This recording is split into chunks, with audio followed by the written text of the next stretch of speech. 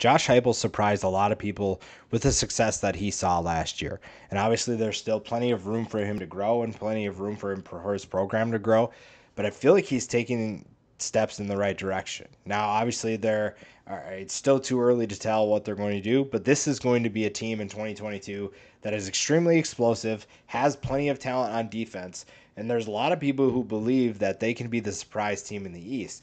Now, obviously, I don't know if anybody puts them outside of Tennessee if they put them on the level of Georgia, but if Georgia struggles a little bit early on with the number of talented players they have to replace, and Tennessee is firing on all cylinders right off the bat, you're looking at even just in this top 10 list a team that is going to make a statement and it, it, feels like they're ready for that spotlight you can't start a list with tennessee without talking about hendon hooker. It was the great fit in josh heupel's system. Obviously they started with joe milton and that didn't work out and hendon hooker stepped right in and proved to be exactly what Dillon gabriel was for heupel at ucf this is a guy who, you know, maybe doesn't have the strongest arm, so he's a little bit different than Gabriel, but he made accurate throws. 68% completion percentage last year. He threw 31 touchdowns and he took care of the football with just three interceptions. He also rushed for 616 yards and five touchdowns on the ground.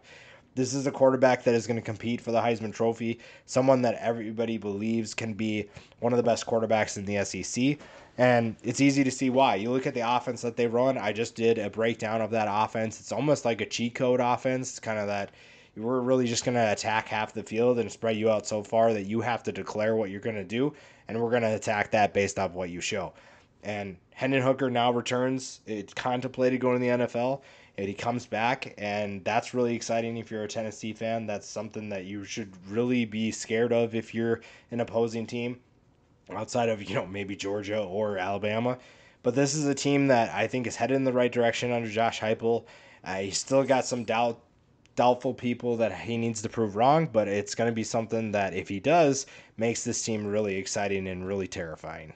When you flip over to the defensive side of the ball, they didn't get as much attention as the offense did last year, but Jeremy Banks at 128 tackles and 11 and a half tackles for loss deserved more credit than he got. I think that he uh, got overlooked because everybody was just excited about the offense. They were really pumped about what the offense was doing, the explosive plays. And obviously, when you play in the SEC, you're going to face a ton of talent, and stopping teams is going to be tough. It, it just is. There's no doubt about that. But Jeremy Banks is a playmaker. I'm excited to see what he can do now that he has that full year of experience under his belt and uh, one that was really positive. I think that he's a play, natural playmaker, and there are a ton of talent around him, ton of talented players that can make plays as well. And that's going to be huge for a team that is looking to take a step forward. It's not going to be the offense that needs to take a step, it's the defense. And if they're able to do that and support this offense that's going to put up points in a hurry, then Tennessee's in business. I think a lot of people were, uh, you know, in awe of Velus Jones, but Cedric Tillman led the team in receiving last year, and he's back. He almost averaged 17 yards per catch, had over a thousand yards with 12 touchdowns. This is a guy that you need to pay attention to. He fits really well in Josh Heupel's system, and it's easy to see why. He knows what teams are going to do. He understands the matchups that he's going to get, and like I said, with that offense that they run, he's able to break down what he sees in front of him He's able to break down the looks that he gets, and that's why he was so successful. He can manipulate a defense. He knows how to beat his man, and Hendon Hooker is going to look his way, especially with Jones off to the NFL. Speaking of the NFL, Darnell Wright is probably headed that way. This is a guy who I think a lot of people uh, were expecting Wanya Morris to be that guy, and then Morris leaves for Oklahoma, which leaves Darnell Wright as when he came into Tennessee as a freshman, people expected him to be a star right away. Took a little bit of time, but I, he's really come into his own. He's really developed well. He has grown as a pass protector, and keeping Hendon Hooker upright, while it doesn't take a lot, uh, in terms of t- amount of time that you have to protect for. Darnell Wright is really good. He's got great length. He has great balance, and I, it's going to be really fun to see him because he's going to face a lot of quality competition, and it's really going to help his draft stock if he has a successful season. One of the more underrated players on Tennessee is Jabari Small. The running back had almost 800 yards last year with nine touchdowns, and he's really tough to take down. I think that a lot of people just assume because he's not a bigger back that it's going to be easy for him to go down. You just got to get a good hit on him. But he is a lot better than people realize. And if the one thing that this offense will need to do is continuing running the football and a consistent and efficient basis. And, and when you're looking at Jabari Small, I think that he is the guy that is going to do that. Now, obviously, someone behind him needs to step up now that Tiyon Evans is gone. But this is a team that you should be excited about. The offense it has plenty of playmakers. It just comes down to utilizing them the right way and getting them in positions to do that. Another player to watch, Aaron Beasley on, at linebacker, 84 tackles and seven and a half tackles for loss. A lot of people focused on Jeremy Banks, but Aaron Beasley is another linebacker that you need to pay attention to. This front seven, I think, is going to be very exciting. The secondary has a lot of potential too. But when you're looking at a defense that could step up with the experience that Tennessee has returning, there's no reason to believe that they can't be that team. Tyler Baron on the edge, eh, I think, has the potential to be an all SEC type talent. Seven tackles for loss and four sacks.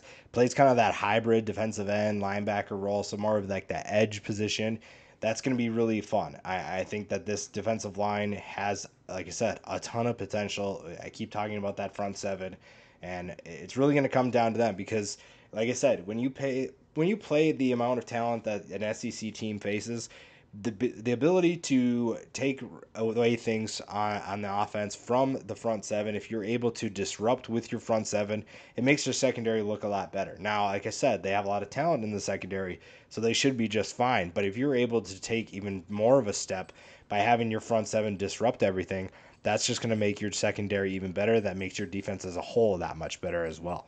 One of those guys I mentioned in the secondary is safety Jaylen McCollough. 49 tackles, three and a half tackles for loss, five passes defended, three interceptions. Guy does a little bit of everything. And I mentioned the front seven needs to take a step forward, but also there's some responsibility on the secondary to step up because it doesn't matter how good you are in, in, your front seven. If you see an offense like Tennessee, a lot of teams run these explosive uh, plays where you're going to be getting two, three seconds to get to the quarterback. Sometimes that's not enough. It comes down to your secondary. What can they do to slow teams down? What can they do to take away those quick passes or to be able to get in passing lanes that make life very difficult for the opposition. Jaylen McCollough is one of those guys that is going to play a big role in that, and it's going to be fun to see what Tennessee can do when their secondary is firing just as well as the front seven. Joining him in the secondary is Trevon Flowers, another playmaker who does a little bit of everything for this Volunteers defense. You'd like to see the 82 tackles probably go down a little bit more unless they're playing them near the line of scrimmage more, but you'd like to see your safety not have to do so much work. Again, that comes down to the front seven being disruptive. But at the same time, if you need your guy to make a play, you at least know that you're you have some comfort knowing that your safeties can make plays. And again, if your safety is making a lot of your plays, that means that guys are getting past the line of scrimmage, past your front seven, and you're got got a lot of cleanup duty. And I think that Trevon Flowers is more than capable, but I also think that Tennessee would like to see him more on the back end and with less tackles and maybe more passes defended. A player that I'm really excited to see in Josh Heupel's offense again is Jalin Hyatt. I think that he will take a step forward with Velus Jones gone. He has great speed that can be utilized a little bit more, and that's something that could make him an even more dangerous threat. You know, you look at Cedric Tillman is going to get a lot of attention, and Jalin Hyatt has the experience. He knows the offense, and that's really big for an offense that hopes that they can take a step forward. And, uh, you look at what Josh Heupel can do; he can be very multiple in his looks. He can be very, very diverse in getting his playmakers the football, and Jalin Hyatt gives him another weapon. J- Josh Heupel comes into a phenomenal situation in Tennessee, and it just really just comes down to him being able to take them uh, in the right direction. I think there were some doubts about him at UCF, and some of those doubts remain at Tennessee, but he's at least taking the first step in the right direction. This is a team that is a, could be a surprise team in the SEC, one that is definitely a dark horse to win the East. But if everything goes right and they play their cards correctly and they take a step forward on both sides of the ball, this is going to be a team that's very dangerous and can do what they're trying to do in 2022.